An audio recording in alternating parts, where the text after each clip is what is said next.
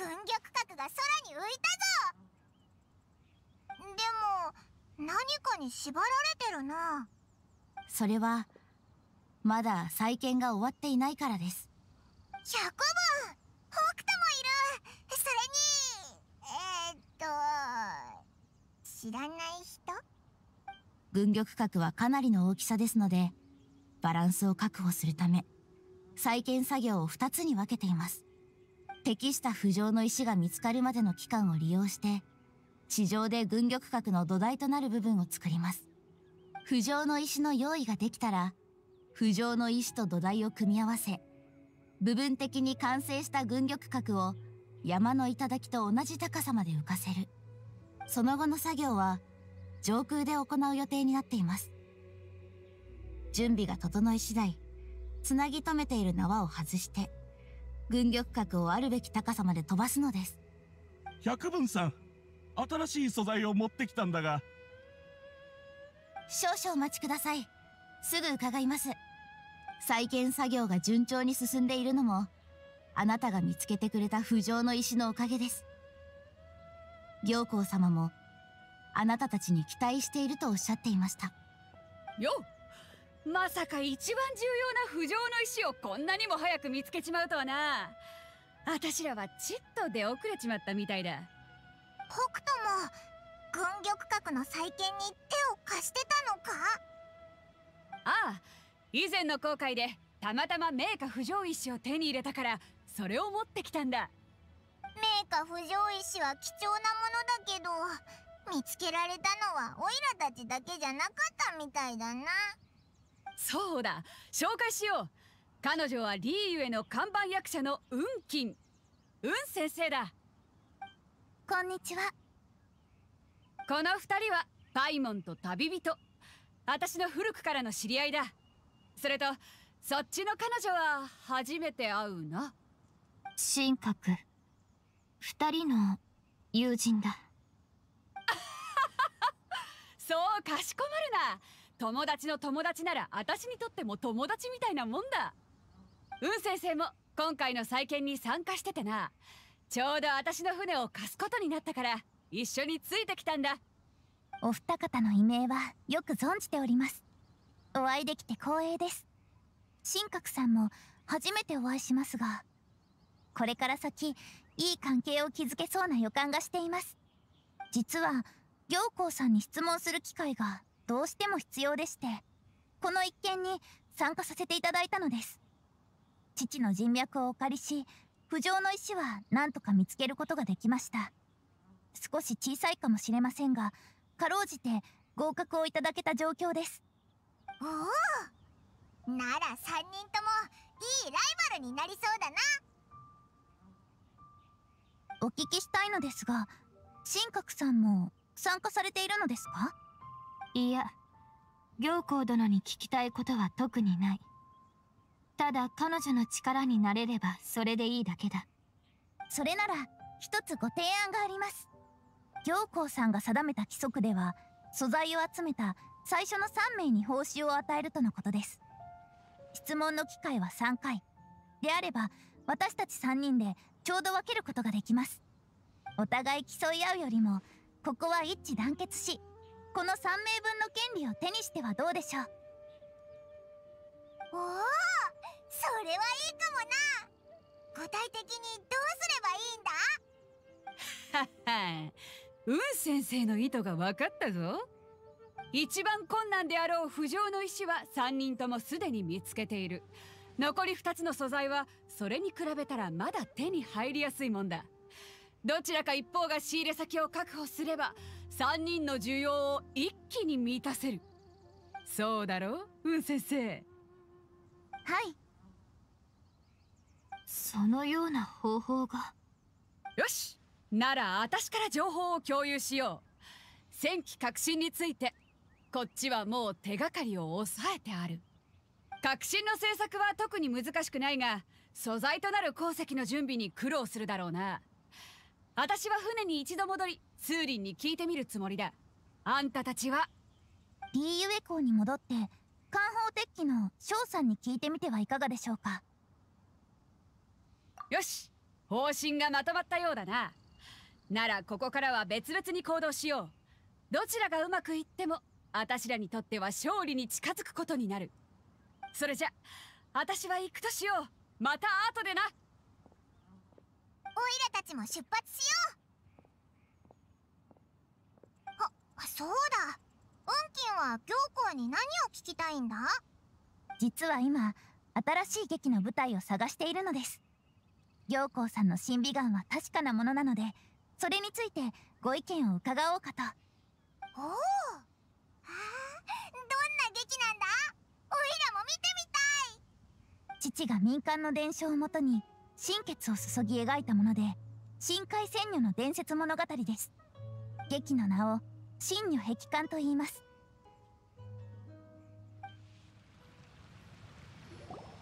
ん？お前たちか。今日は何か買いに来たのか？それとも鍛造の依頼に？翔さんお疲れ様です。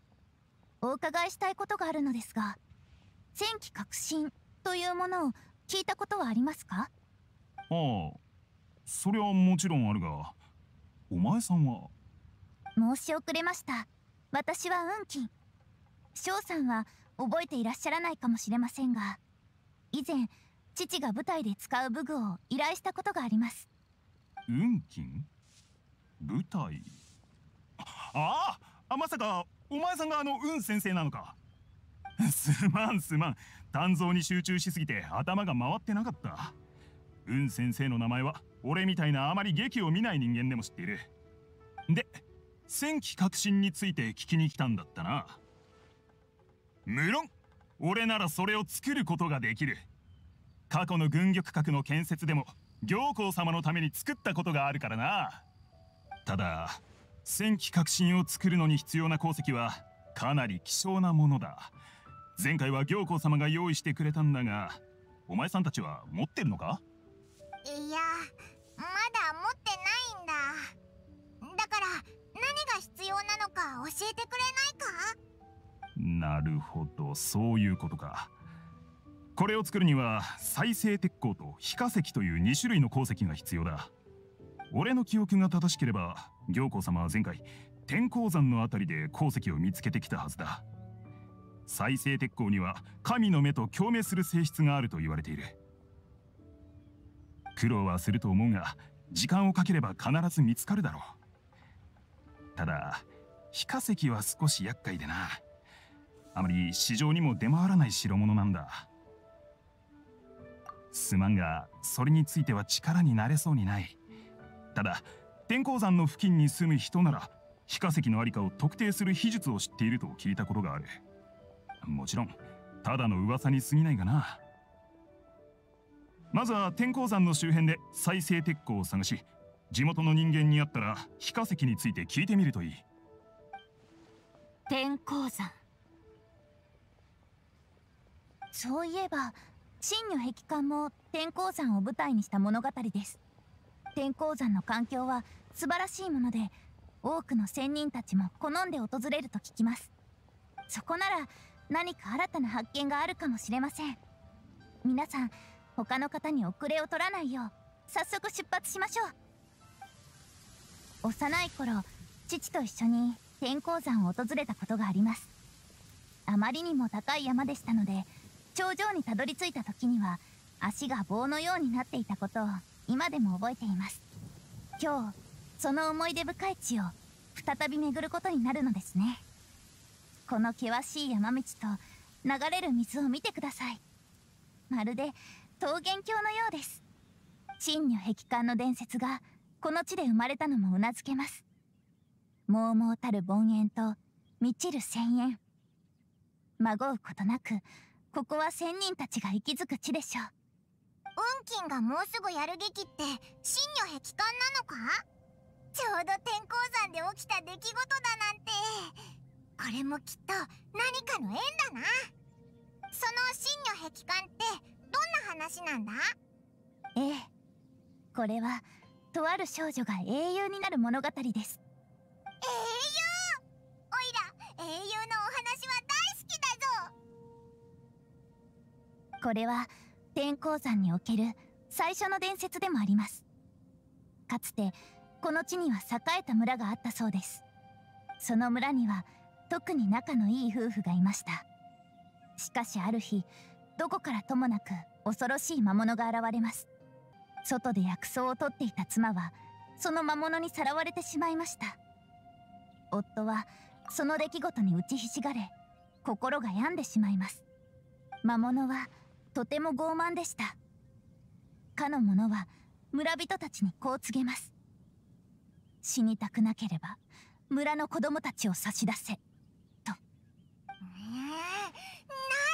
いやつなんだちゃんと懲らしめてやらないとしかしその魔物の力は強大でした。村人たちは恐怖のあまりその要求を飲まざるを得なかったのです。誰の子供を魔物に捧げるかそれを話し合っていた時突如一人の少女が名乗りを上げます。その少女ってまさか。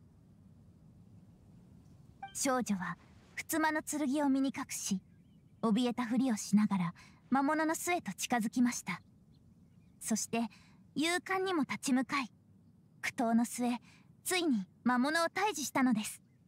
その後少女は優れた素質から仙人に引き取られ幸せな結末を迎えます。ただ残念ながら仙人と人間には永遠の隔たりがあります。彼女が属性に戻ることは二度とありませんでした。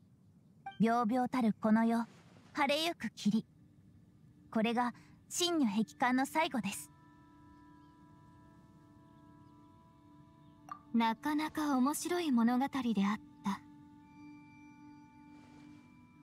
ただ我が思うにその少女は語られているほど勇敢なものではなかったように思う。もろ手を挙げて称賛するのはいささか賛同しにくい。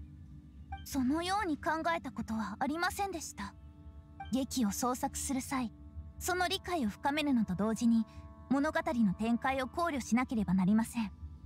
ですので必然的に実在する物語を改変する必要があります。この劇を父が書いた時おそらく物語の核心である真如に脚色を加えより多くの人々に感動を与えようと思ったのでしょう。ああでも良い物語であることには違いない。我が理想とするような物語だ。うんうん。いい話を聞いたらなんだかオイラもやる気が湧いてきたぞ。よし。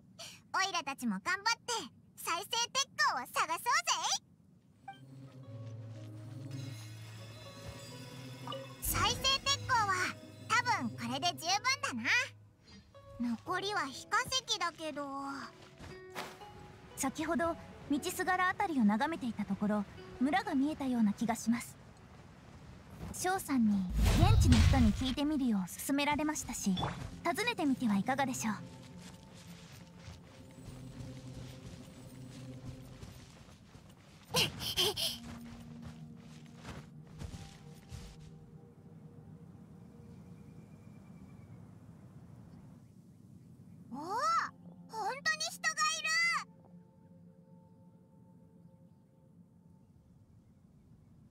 運金の見間違いじゃなかったみたいだな。おじさんこんにちは。オイラたち聞きたいことがあるんだけど。あれ聞こえなかったのかな？すみません。通りすがりのものですが非化石に関してお伺いしてもよろしいでしょうか？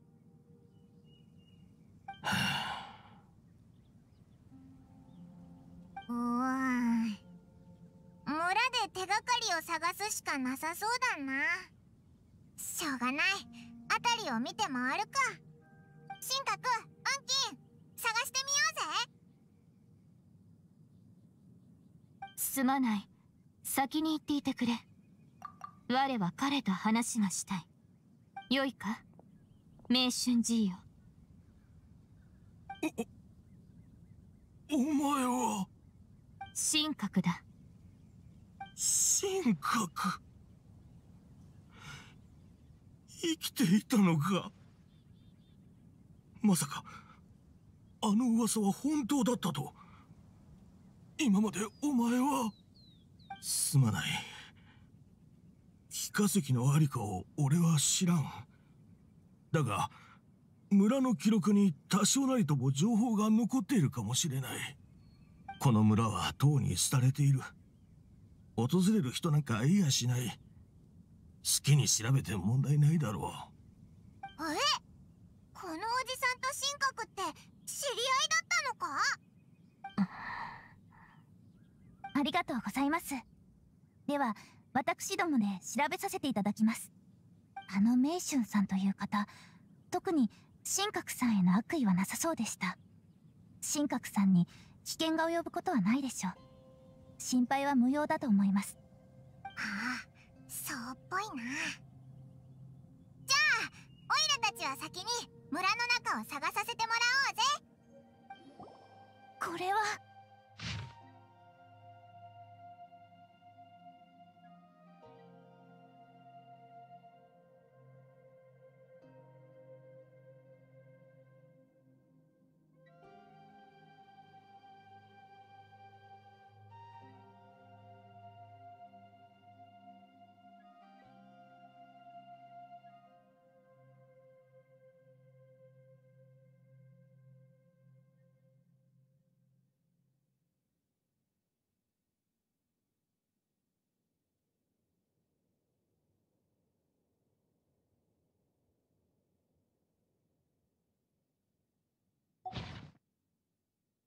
神格さんあの方はもしかして劇に登場する神女なのでしょうか？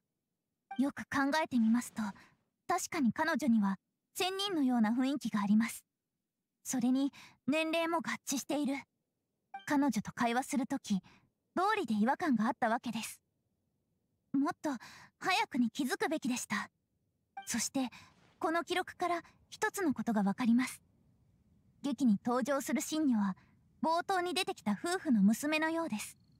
彼女は自ら望んで名乗りを上げたのではなく実の父親の手によって魔物の生贄とされたのでしょう。はあ。まさかこのような事実が隠されていたとは。実に悲しいことです。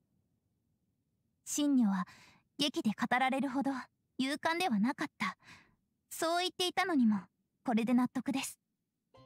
望んで危険に身をさらしたわけではないのですから。父が書いた真女壁観には修正が必要でしょう。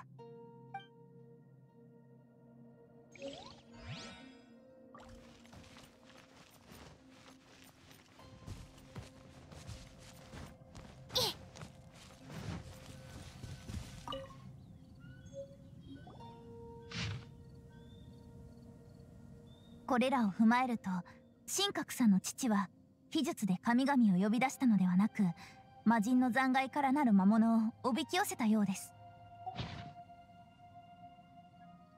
亡き妻への執着が悲劇の引き金となりそして真実を知らない村人たちは別の地へと移り住んだ。ここが廃村になったのもうなずけます。ただ先ほどお会いした名春さんは神格さんの家とどのような関係があったのでしょう。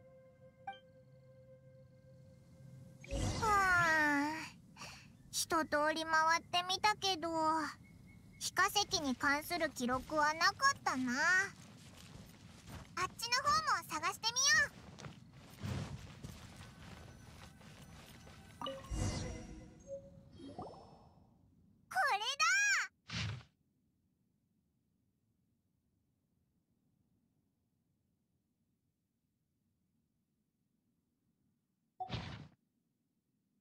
どうやら夕方に天候山の南にある湖に行ってその中心を探せば非化石が見つかるみたいだ。よし戻って神格にこのことを伝えよう。1年前ここに帰ってきた時通りすがりの商人から白い髪の仙女の物語を聞いた。まさかそれがお前のことだったとはな。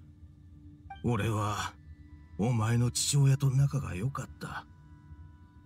だから、儀式を止める機会もあっただろうしかしそのまま見て見ぬふりをし重大な過ちを犯してしまった俺は毎年ここへ花を持って帰ってくるんだお前たちに謝りたいという気持ちを心に抱きながらな。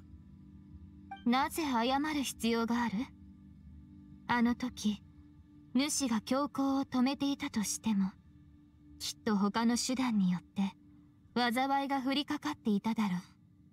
愛する者のためならばあの男は何でもする。そのあいつのことをまだ憎んでいるのか？それはわからぬ。我は孤独であだなす者それゆえ師匠の赤紐によって魂を縛られた。我の不穏な心は抑えられたが仙人のように超然とした佇まいとなってしまった。過去のことを口にしても今となっては何も感じぬ。憎む。憎まない以前の問題だ。そうか。本当に苦労をしてきたんだな。進化くん戻ったぞ。じゃあ俺はこれで失礼する。お前が無事だったということを知れて俺はほっとしたよ。今度機会があったら昔のことをもっと話そうかげで手がかりが見つかったぞほら見ろよ進化くんこれに非化石の手がかりが書いてあったんだ湖の中心に行けば見つかるみたいだぞそうか。ならば早速向かうとしよう。あ。神格さん一つご相談したいことがあります。先ほどあなたの父親が書いた手記を村の中で見つけました。真女壁観には事実をねじ曲げた記載が多々あります。ですのでその内容を修正したいのです。なぜ修正する必要がある？先ほどもお話ししたように劇とは実際に起きた出来事を改変したもの。それでも劇の主役となった方がすぐ目の前にいるのです。その気持ちを無視することはできません。構わない。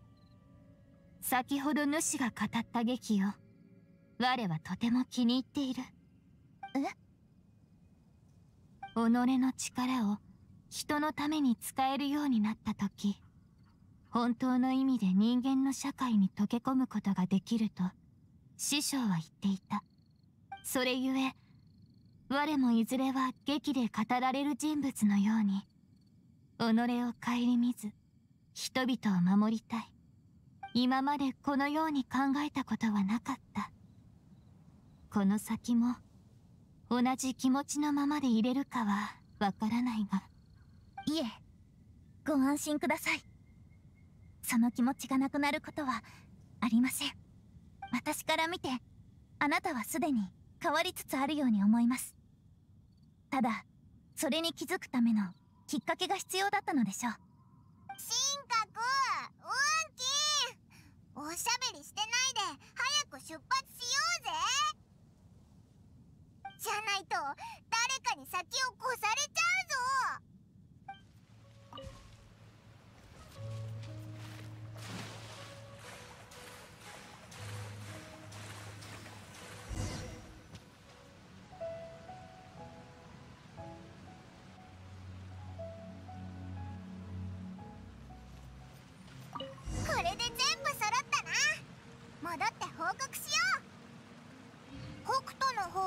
順調か